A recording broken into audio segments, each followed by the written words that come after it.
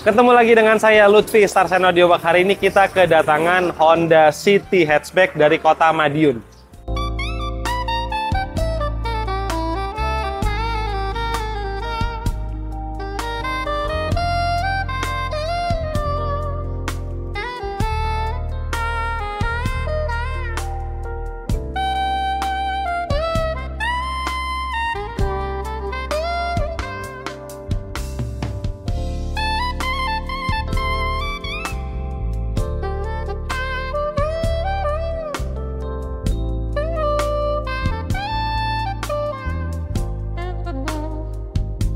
Jadi Honda City Hatchback ini datang jauh-jauh dari kota Madiun ke Semarang. Sang owner, beliau punya keluhan gimana caranya mobil ini biar jadi semakin maknyus mulai dari bagian atap suara hujannya benar-benar berkurang, suara ban atau lebih kita kenal dengan istilah road noise juga benar-benar berkurang dan suara sekitaran juga benar-benar berkurang. Dan setelah kita bongkar kondisinya seperti ini. Ini langsung ke bodinya di bagian ban serep. Yang warnanya lebih gelap adalah peredam aspal bawaan pabrik, nggak bisa dilepas. Di bagian ban belakang, tepongnya sebidangnya seperti ini, aspalnya sedikit sekali. Wajar kalau bawaan pabrik seperti itu wajar banget. Di bagian lantai yang warnanya cenderung lebih gelap, itu adalah peredam aspal bawaan pabrik. Tapi nggak penuh, cuman sedikit-sedikit. Ya wajar juga kalau masih bawaan pabrik seperti ini wajar banget. Terus kita punya solusinya. Kita bakalan bikin dalam waktu satu hari. Kita mau ngasih mulai dari bagian plafon, 5 pintu, tepong, lambung, lantai full, sampai ke bagian kolong ban depan. Oke, nggak usah kebanyakan basa-basi, langsung kita gaspol. Sekarang posisi jam setengah 10 pagi, nanti kurang lebih jam 6, jam 7 mobil sudah siap serah terima kunci. Dan untuk di awal, ini masih kosong ya. Nggak ada peredam sama sekali. Tutupan pintunya masih bergetar. Plat bodinya masih ngaleng, wajar kalau bawaan pabrik seperti ini wajar banget. Tapi nanti di akhir video kalian bakal lihat perubahannya benar-benar beda banget. Jadi polanya kita mengerjakan di bagian setengah bodi ke bawah dulu. Setelah selesai baru kita lanjut ke bagian plafon. Bahan yang kita gunakan di Honda City Hatchback ini jadi sebagai dasarnya kita menggunakan rubber batil dari LM Audio. Ini adalah murni rubber batil dan tebelnya istimewa. Tapi dia nggak berat tetap enteng. Terus di bagian pintu kita finishing dengan lapisan peredam foam akustik dari Blaupung. Di bagian plafon, lantai, kolong ban depan, tepong, lambung kita finishing dengan flat foam, heavy foam, dan foam rebonded.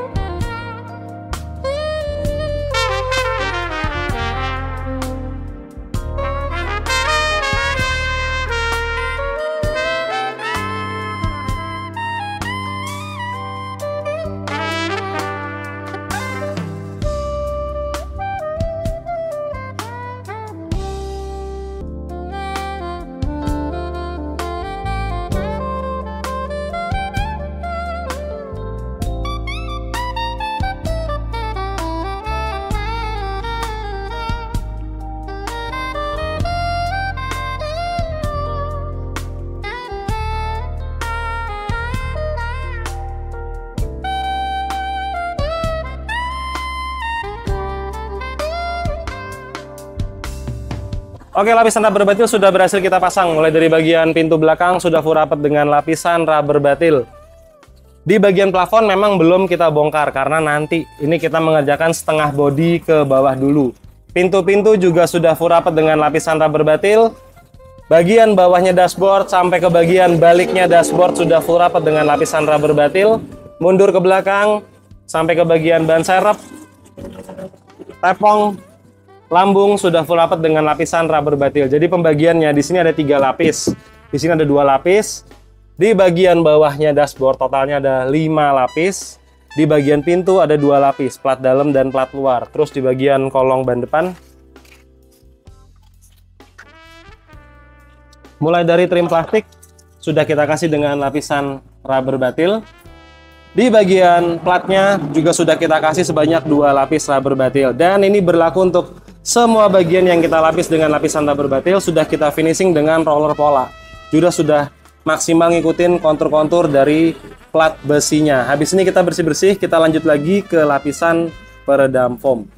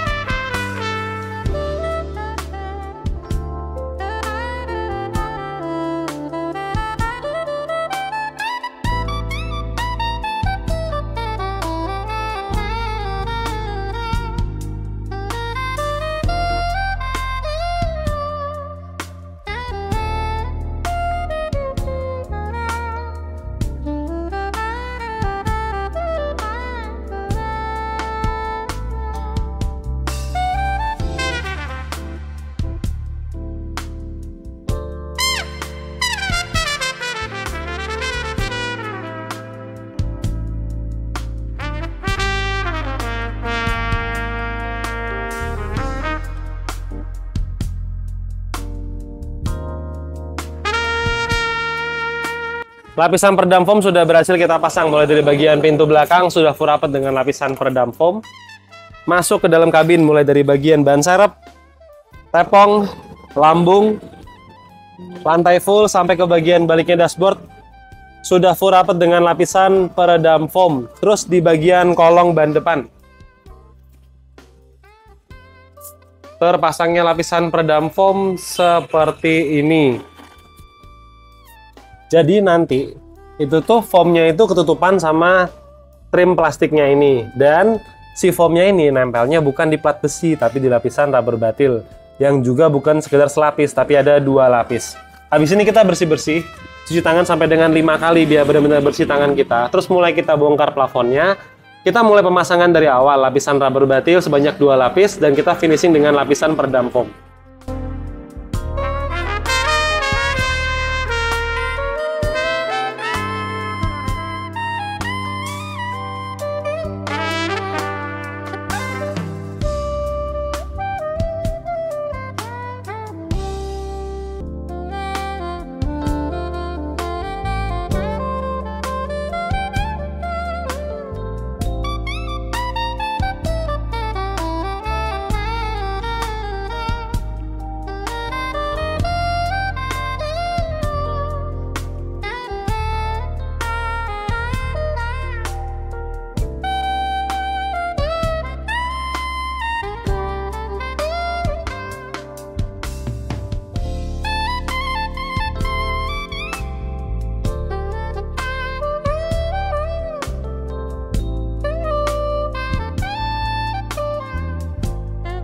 Oke, ini kita lagi proses pemasangan di bagian plafon. Jadi seperti ini, dilepas tapi nggak semuanya. Ada yang nahan dari bawah sampai kira-kira tangan kita bisa masuk.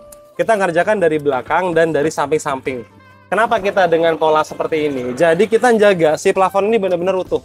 Dia nggak ada retak, nggak ada sama sekali nanti patahan ataupun plafonnya jadi cacat. Jadi kita jamin walaupun kita ngasih peredam full di bagian plafon, si plafonnya sendiri ini benar-benar utuh, nggak ada sama sekali cacat sedikit pun.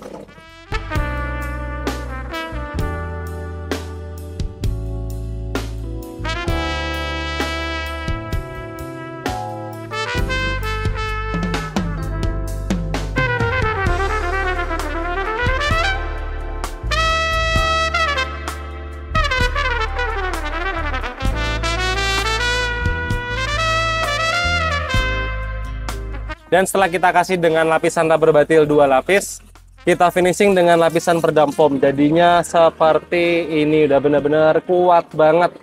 Maksimal banget dia lengketnya, dijamin nggak bakalan lepas sama sekali. Karena sudah kita roller dengan roller karet, kita finishing dengan roller bola. Habis itu kita tambahin lem lagi, baru kita tempelin foamnya. Jadi udah bener-bener kuat banget.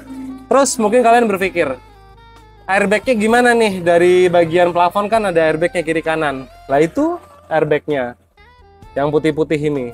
Peredam kita tuh jauh banget sama airbagnya. Airbagnya tuh di sini, sementara peredam kita di bagian sebelah sini. Jadi peredam di bagian plafon itu sama sekali tidak mengganggu kinerja dari airbag. Oke, habis ini kita bersih-bersih, cuci tangan sampai dengan lima kali biar benar-benar bersih. Kita pasang lagi plafonnya, terus kita kembalikan semuanya ke posisi awal dengan pola dari atas menuju ke bawah.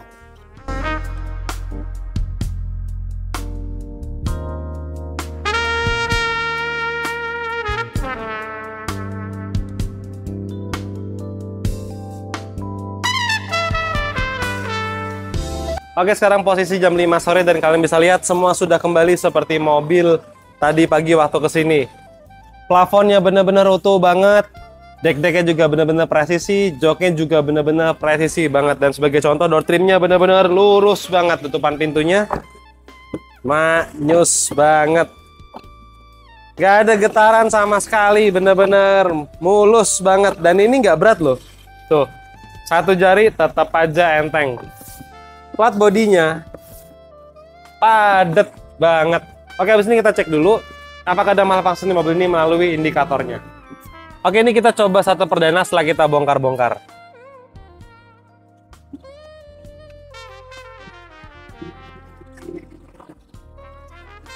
Aman semuanya indikatornya. Jadi yang biru ini karena mesin baru aja nyala, masih dingin. Yang merah ini adalah logo handbrake.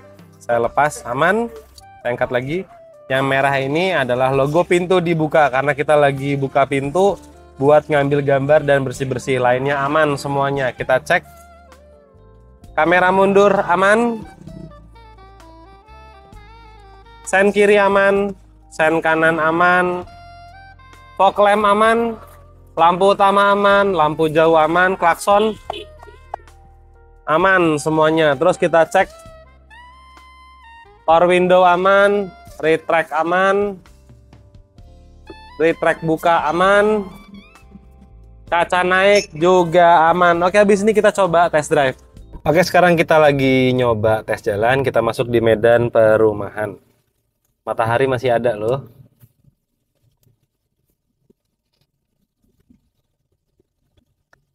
Dengerin suara bannya. Maknyus banget kita menuju speed 40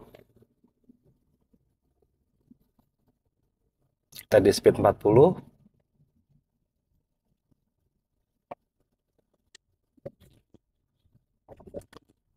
ini kita masuk ke aspal yang kasar.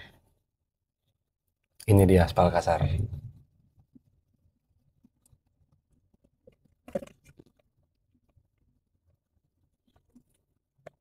Manyus banget ya. Aspal kasar kita lewatin halus banget. Ini ada motor. Coba kita deketin. Gimana suaranya di dalam kabin. Tipis banget. Suara motor bener-bener tipis banget dan suara ban berkurang jauh banget. Jadi untuk total biayanya peredam seperti ini habisnya di angka 10 juta rupiah. Pengerjaan tadi mulai jam 9 ini sekarang posisi jam 5 lewat 16 anggaplah setengah 6 mobil sudah jadi sudah siap serah terima kunci. Datang jauh-jauh dari Madiun ke Semarang dan hasilnya benar-benar nggak sia-sia. Perubahannya di City Hatchback ini benar-benar kerasa banget kalau kalian kepengen lihat full video sinematiknya, kalian bisa langsung kunjungi channel Cinema Hiroshi. Jangan lupa like, komen, dan subscribe. Terus di channel Hasana Dubak juga jangan lupa like dan subscribe. Saya doakan baik kalian yang lagi nabung-nabung, kepengen pasang peredam full ataupun upgrade audio. Mudah-mudahan segera terkumpul biar kendaraannya jadi semakin istimewa. Saya Lutfi, mohon maaf kalau ada salah kata. See you next video. Ciao! Jangan lupa subscribe